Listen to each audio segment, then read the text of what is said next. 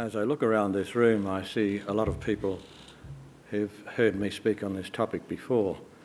So I should start with an apology. There'll be some repetition. I, I think uh, competence and professionalism are different qualities, and I think it's important to emphasise their difference. Competence is substantially the skillful performance of a surgical or medical service.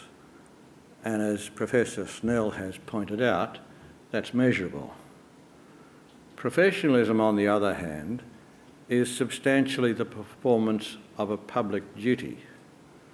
The duty to put the interests of patients, existing and potential, ahead of those of your own and of any other body.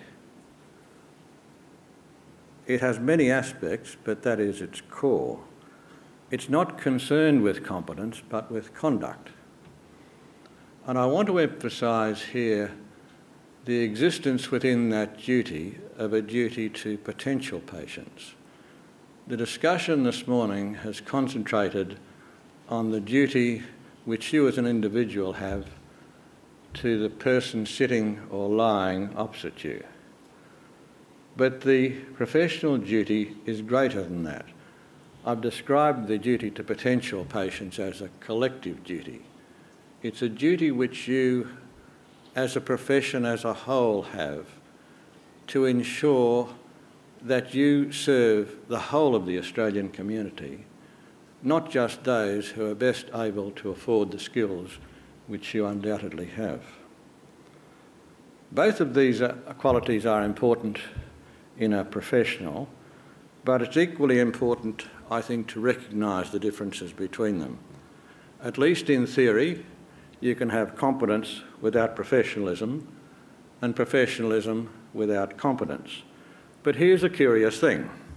In practice, those who recognise and perform their professional duty are almost always competent. But there are many competent professionals who have lost or have never had a true appreciation of their professional duty. I think it's essential to appreciate the importance of the performance of that professional duty, and it's also equally important to emphasise the importance of the public perception of that performance. That is because the public and the government perception will determine your future. It will determine who decides your competence and who decides your professionalism. I've said many times in the past, and this is the repetition I'm afraid, that true professions like medicine and the law have, or more accurately, once had two privileges conferred on them. The first was a right to professional autonomy, the right to control its own affairs and its members, and the second was an exclusive right to practice in a defined area of work. The reason why those privileges were conferred, and this is very important, is that it was accepted both by the public and the government that the members of those professions had and performed the public duty to which I've just referred. I've discussed elsewhere how in your profession those two privileges have eroded over time, largely through government action. I don't want to go there now. But the reason why those privileges have eroded in both the public and the government uh, is that the public and the government have become more sceptical about the performance by you of that public duty. You as a profession were once held in the highest esteem both by the public and the government. And individual patients no doubt still have the highest regard for those medical practitioners who treated them. But you should not mistake that for public esteem. A couple of years ago, a British surgeon, Mr Thomas Dean, who spoke at the uh, ASC of the College of Surgeons here, said that in the United Kingdom, and I'm quoting him, the government and probably also the public view of surgeons is that they are greedy, obstructive to change, have standards below par, are unable or unwilling to self-regulate, and that they are doctor-centric, not patient-centric. Now, I'm far from saying that view is correct. I don't think it is. And uh, Mr Dean, to be fair to him, wasn't saying that that view was correct. What he was saying was that that was the government view, and he thought possibly also the public view uh, in the UK. And I would not be surprised if that were very close to the public view and certainly the government view here.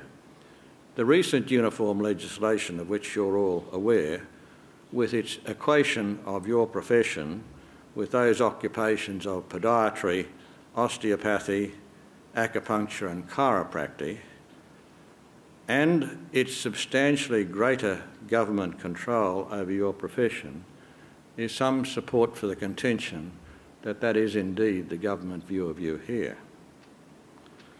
That's extremely important, as I've attempted to explain in the past, because unless that view changes, your profession will come under increasingly government control, both with respect to standards of competence and with respect to standards of competence. How did you come to that point, and what can you do about it now? Well, I know these are questions which the College of Surgeons uh, is presently addressing, and they are, I believe, two of the most important questions for your profession for its future. It's not sufficient that you believe that you're training competent professionals. It's not sufficient that you believe you're ensuring that they maintain that competence. You must be able to demonstrate that publicly. In other words, your systems for achieving these things must be transparent and they must be convincing. Let me attempt to explain why that's so, pardon me, by giving you an analogy.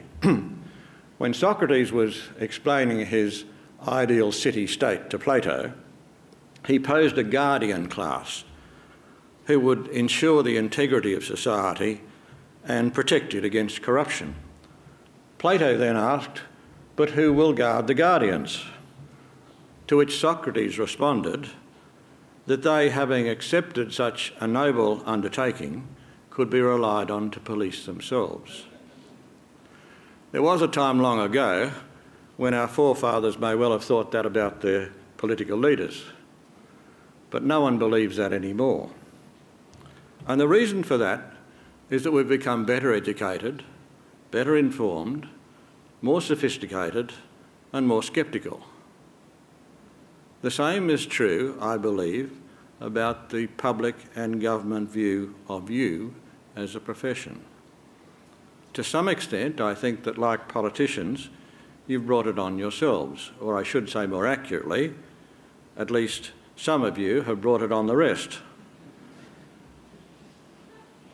Whether or not you agree with that, and I suspect a lot of you don't, I think you must agree that however important it is to ensure that you train competent professions, professionals and make sure that they remain competent, it's equally important that you publicly demonstrate that you're doing this. Unless you do, I think you will become a mere service industry, under government control in respect of all aspects of your competence and your conduct. Thank you for listening to me.